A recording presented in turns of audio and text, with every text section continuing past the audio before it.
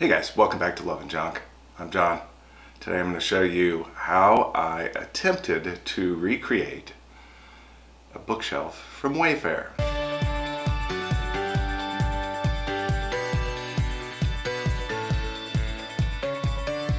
Today I'm going to recreate this.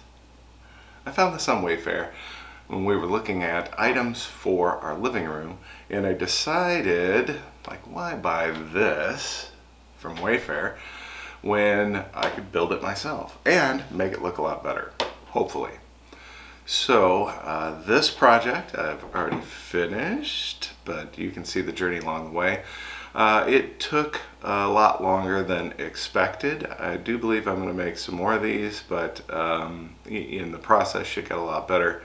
Uh, but this was kind of experimental in had some questions as far as integrity of the actual structure. So um, I worked it up and it, it's pretty good.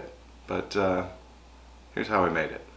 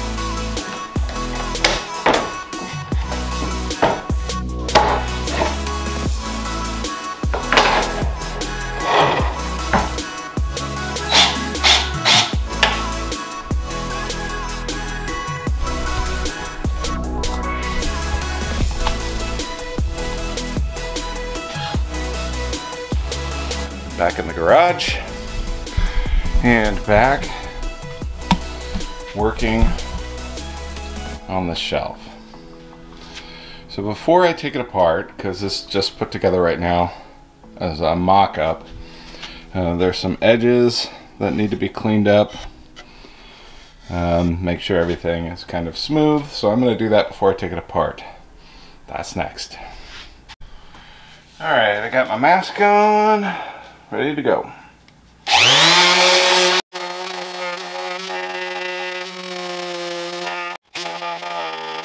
All right, so I got that sanded down. Only took a few minutes. Um, but, uh, you know, it's never going to be like uh, fine woodworking. Uh, this is some scrap wood that I found, got for free, side of the road, something like that. I've been carrying this stuff around with me forever.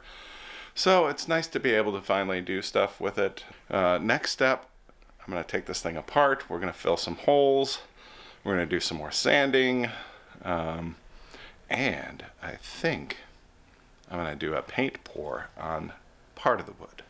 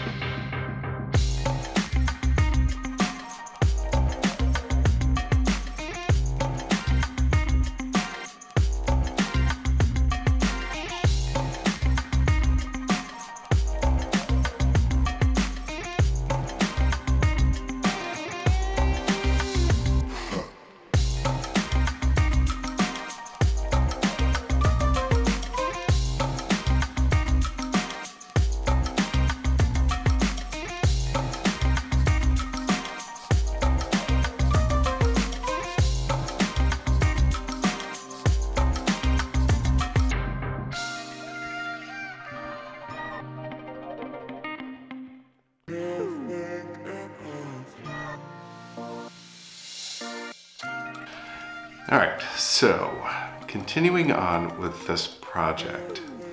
For you, it's only been probably a couple seconds. For me, it's been days. One of the reasons is um, that paint, the paint pour really takes a long time for it to dry.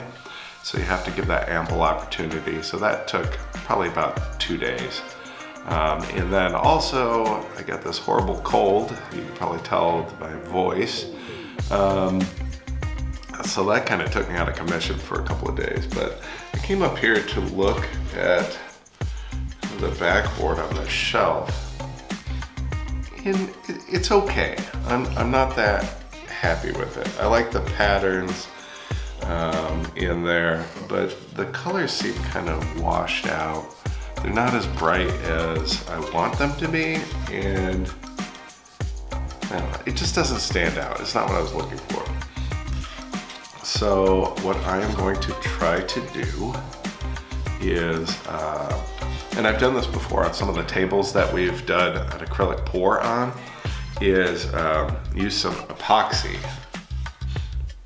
So I've got this um, premium quality clear epoxy resin. I got this from the epoxy resin store online and they ship it right to your house. We've got part A, part B, uh, and this is some older stuff. I've used this definitely before on uh, some other projects, uh, some tabletops and stuff like that. And I really like this product. Uh, product. I have some more. I have a newer, um, you know, unopened bottle. Um, but I'm gonna use this on this one. This part B has gotten a little yellowed and I really hope that it wouldn't affect the final um, product, but um, this is a great product to use this on. If I were to do a tabletop or something like that, I would not want to use something that I was it was questionable as far as whether it would be clear or what. So, because I'm just kind of messing around with this and kind of learning this as this is my first time doing this project, um, let's try it out. So when mixing this type of epoxy, um, I usually use these plastic cups you can get at Walmart or whatever grocery store. Um, I like the clear so you can see what level uh, because you're going to do equal parts of part A and, and part B. Um, I'm going to use these two smaller cups and pour them out individually and then mix them in a larger cup. Um, once you pour them, uh, it usually takes about five minutes of stirring uh, to get everything you know, mixed correctly. Um, and then pour it right on the product. have to keep coming back. Uh, I'll have to look for my blowtorch because you want to torch the um, epoxy while it is liquid like um, to get the bubbles out.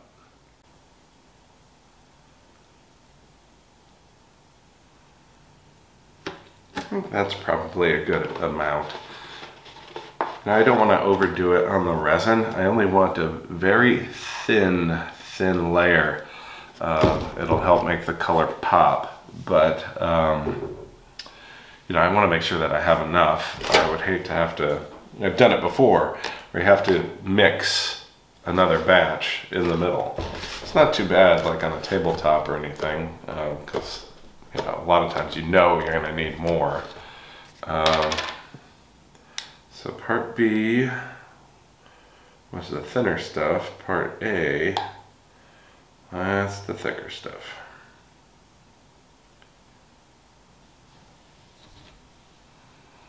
All right, I'm gonna pour part B in first. because it's more liquidy. Since part A is um, thicker, you know, it'll start to mix already once you get it poured.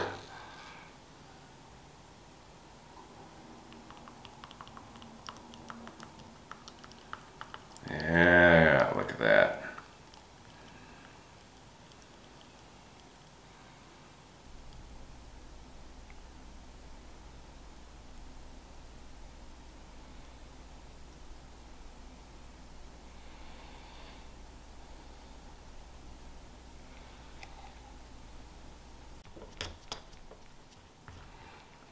One of the reasons I really like this uh, type of epoxy uh, is because there isn't as much odor.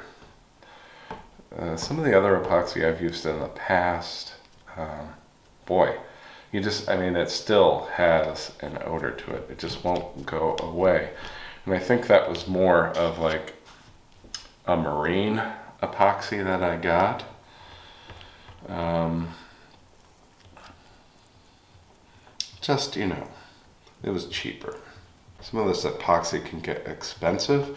As far as this epoxy from the resin store, um, not too bad. Not too bad at all.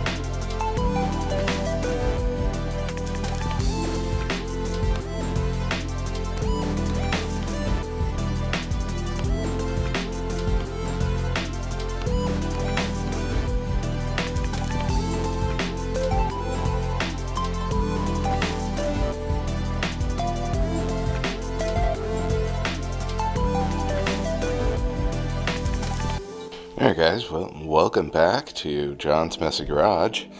Um, this is how it looks after the epoxy is on it. So there is a little bit more color pop. I, I like it a lot better.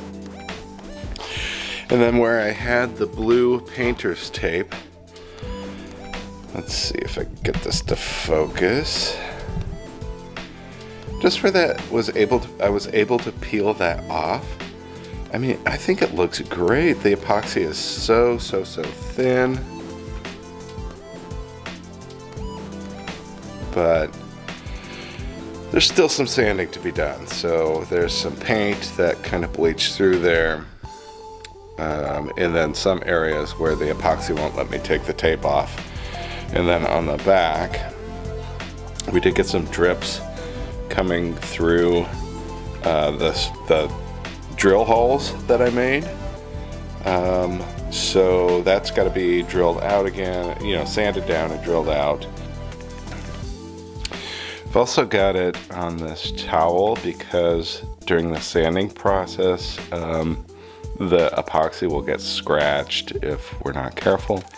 Uh, right now I'm using the rotary sander and let's see, 220 grit on there and that should be okay.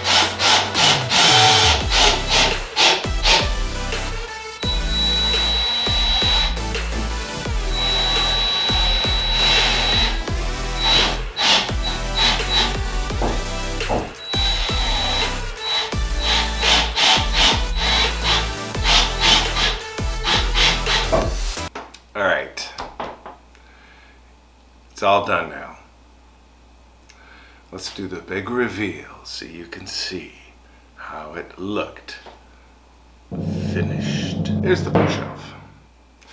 It is an interesting size. I mean, it's not too bad. It's tall enough that you could put it on the floor if you want to, uh, but it's short enough that if you had the right tabletop, you could also put it on a tabletop. So, um, I don't know. I like it. I like it. Is it perfect? No, it's not perfect. Uh, I did make a lot of mistakes, um, but I didn't really care. I made it from reclaimed wood, so I'm using something that was basically destined for the trash heap. And uh, I think I made something nice. Uh, maybe somebody will want this, or, you know, maybe we'll just keep it here in our living room. But I think I'll list it on Facebook Marketplace, or at least Laura will, and uh, see if anybody wants it. I like the project. I'm going to do it again. I'm going to do it better next time. But I do like the rustic feel of it. I like that it's not perfect. I like that it has some character. The original piece from Wayfair was kind of plain. Gotta find some more reclaimed wood though. I do like working with reclaimed wood. You know, why throw something away that you can redo uh, and get some more life out of? Anyways, hope you enjoyed this video. Give us a like, give us a subscribe. We'll catch you next time. Peace out guys. Bye.